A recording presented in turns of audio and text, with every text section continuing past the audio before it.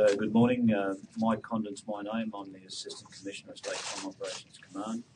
With me to my left is uh, Acting National Manager of Target Development Intervention, uh, Kerry Stent from the ACC, and uh, Acting Detective Superintendent uh, Gary Watts from the Organised Crime Group within State Crime Operations Command. With that, I'll hand you over to Mr. Watts.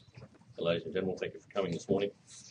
The initial um, media uh, interview that we'll do today will relate to Operation Hotel Enzyme. So if we could be specific about Hotel Enzyme initially, and we're certainly um, open to other questions in relation to other matters at the end of the Hotel Enzyme interview. In July 2009, the Queensland Police Service commenced Operation Hotel Enzyme.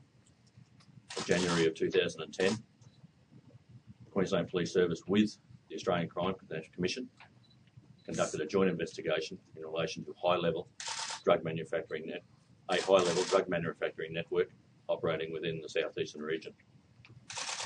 Working together with our partner agency, the ACC, we were able to gather sufficient evidence, which culminated in a number of search warrants, search warrants being executed on Monday afternoon.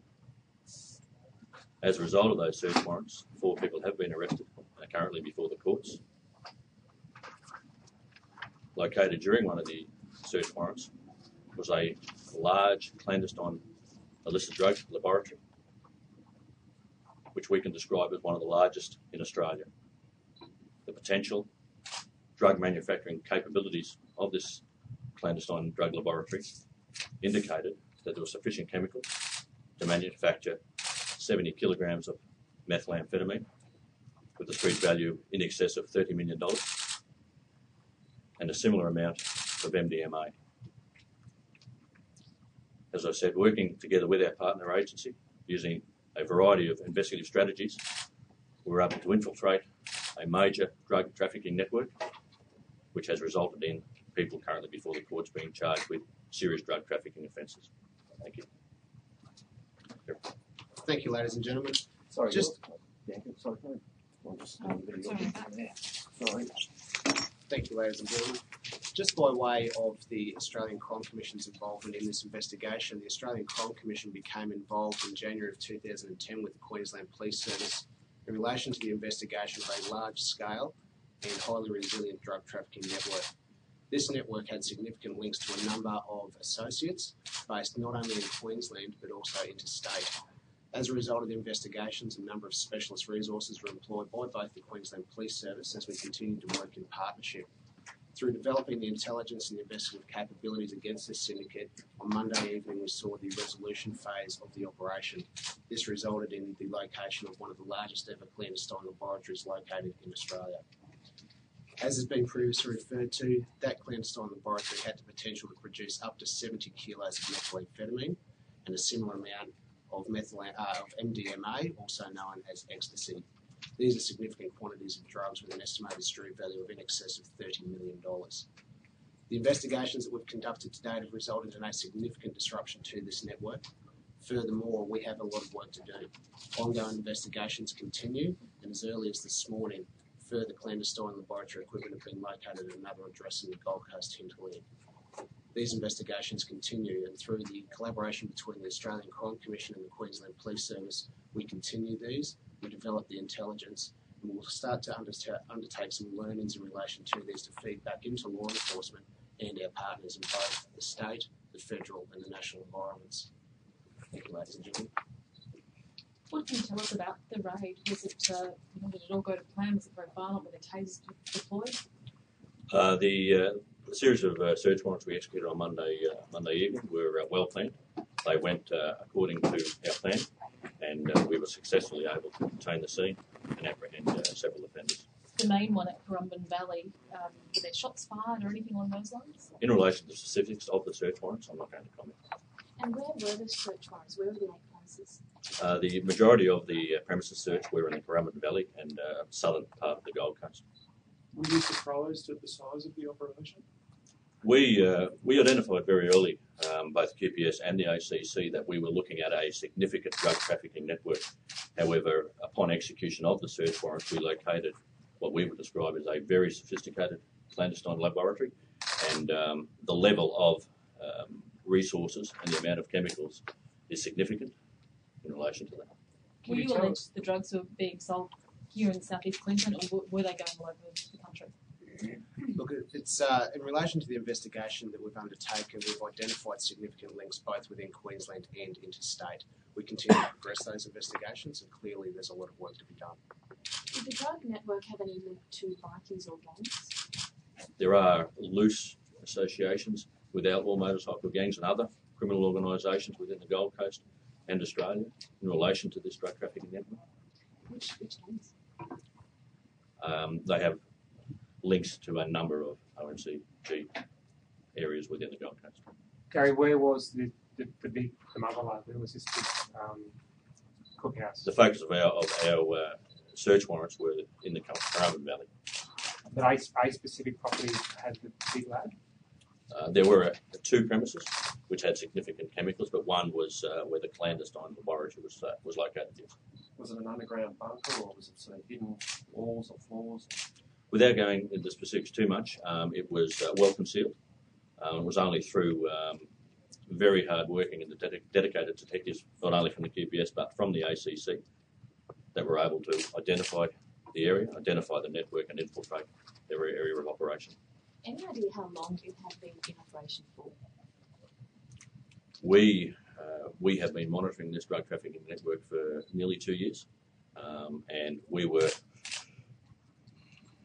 focusing our operation on them for that period of time. Is there? Can you say anything about how you monitored them? Did you go undercover? Like? I, I do not want to get into the specifics of the operational side of the uh, investigation. Do you think you've got the highest in the chain of order, or do you think there's somebody above that? We have made significant inroads in relation to this drug trafficking syndicate, and we have, I believe, um, arrested um, and investigating major drug traffickers within Australia. Do you expect more arrests? The investigations are ongoing. There's a lot of work to be done. Just in terms of some of the quantifiable amounts from this investigation, the uh, seizures that were undertaken in the last couple of days have resulted in over 2.5 tonnes of precursor chemical. Those chemicals also had the potential to manufacture up to 70 kilograms of methamphetamine and comparable amounts of uh, ecstasy.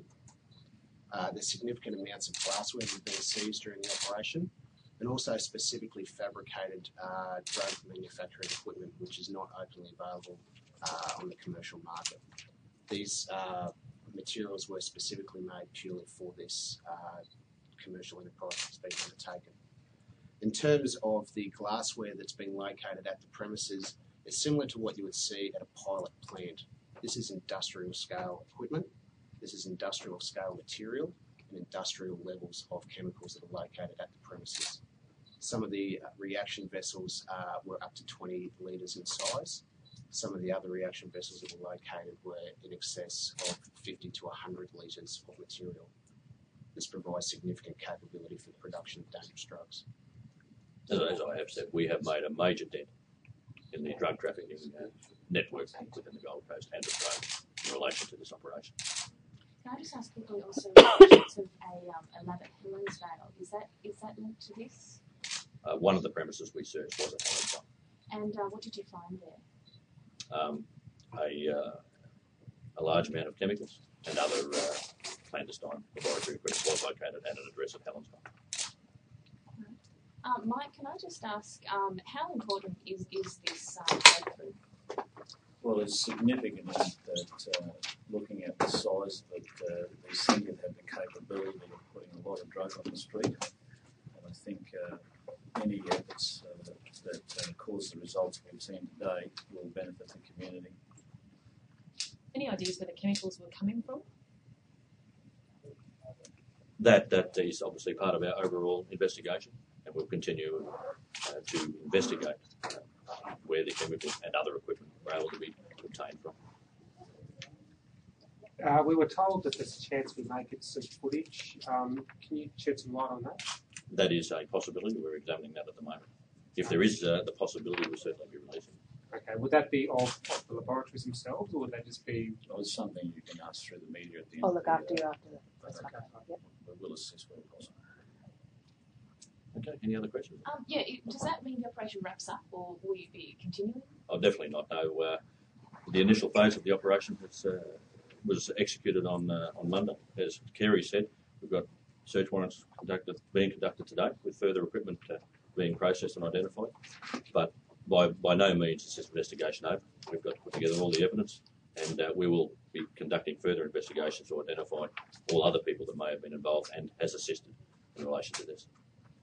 And have those people been through court now? Four people have been charged and are currently before the court. Did it involve CERT going in first, or was it a? As re- in relation to the operational execution, I will not be making any further comment. Uh, can we just say quickly, how many officers were involved in this whole process? And, and where from? From across Australia or just Queensland? With respect to Queensland Police Service, uh, we had uh, in excess of 40 officers on Monday to assist um, ex- ex- executing search warrants. Um, overall, we've had considerable amount of resources we have spent over the last as nearly two years investigating these people. Um, Kerry can comment on that in relation to the ACC. In terms of a national focus on the investigative capabilities, uh, an established task force was undertaken for over 18 months in relation to this uh, operation. That also involved the specialist resources of not only the Australian Crime Commission but the Queensland Police Service, and a number of allocated resources resulted in this coming to a culmination on Monday night.